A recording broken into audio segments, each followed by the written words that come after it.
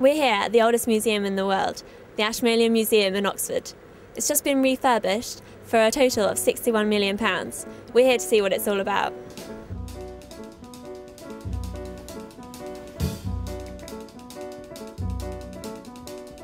Oh, Cinnamon, where you gonna run to? Cinnamon, where you gonna run to? Where you gonna run to? Oxford is one of the oldest towns in the British Isles, renowned for having the oldest surviving university in the English speaking world. Located in the heart of the city centre is the famous Ashmolean Museum of Art and Archaeology, the world's first university museum. It has recently gone through many changes to improve the experience for the numerous visitors that come through the doors during the year. The most notable, the doubling of the display space from three floors to six, and the addition of a new con- conservation studio and an education centre.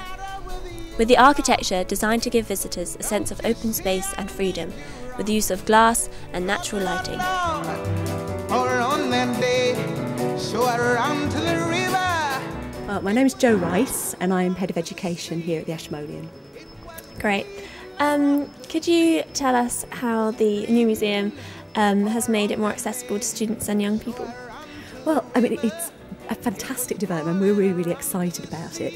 Um, what we're hoping is that you know the, the way the galleries have been redisplayed, the new facilities, the new programs that we're doing are going to encourage a much more diverse audience. Please heart me, Lord. Don't you see me praying? Don't you see me down here? The new building complements the old and allows the cultural history of the world to be seen from many perspectives within a contemporary setting.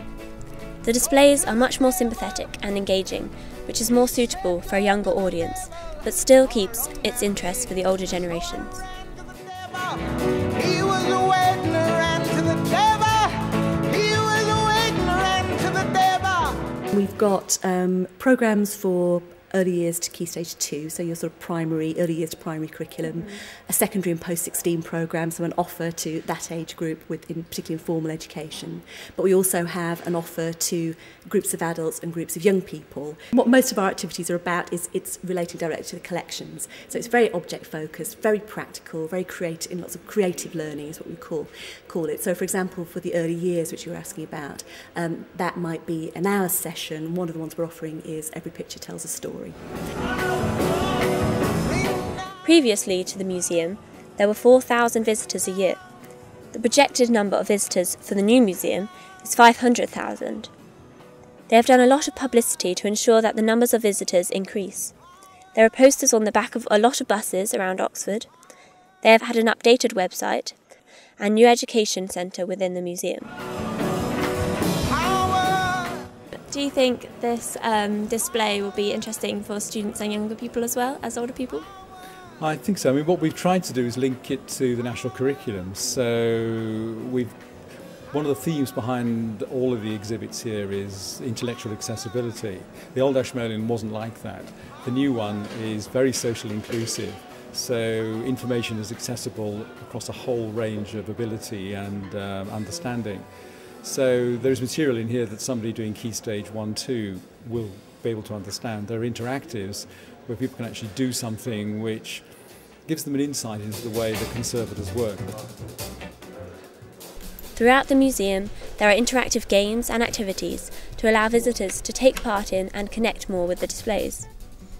There are whole new collections, which include a lot of textiles thanks to the environmentally controlled space.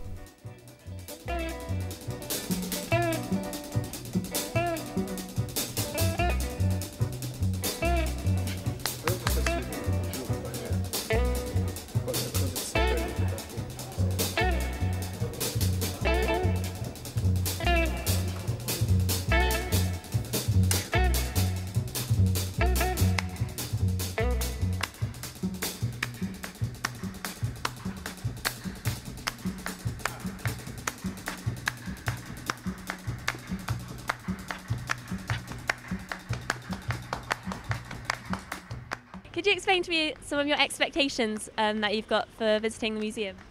I'm expecting the most wonderful, modern, clear, clean refurbishment I'm expecting lots of open spaces, lots of exciting open spaces, and I do believe that one isn't being taken round in a sort of chronological fashion or even in a themic fashion. I think it's been designed so that you might be sort of walking past one doorway and you might think, oh, there's a bit of that in there, I'll pop that way. Did you know that 61 million was spent on the renovation? No, 61 million, that's a lot. Yeah. Um, so what do you expect it to look like inside? Fantastic if it was 61 I think- yeah, I think it's going to turn out really amazing.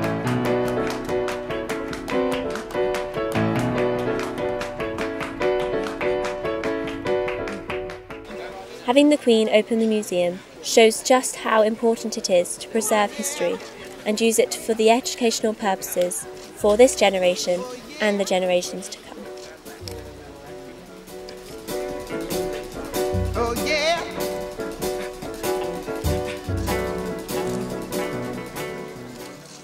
The Ashmolean Museum is a beacon of education, not only in Oxford but in the Western world, and all efforts have been made to keep it modern and relevant at the cost of £61 million and three years of renovations.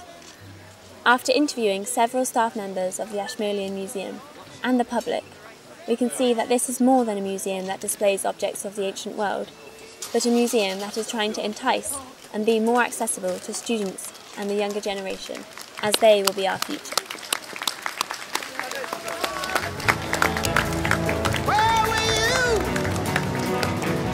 With me.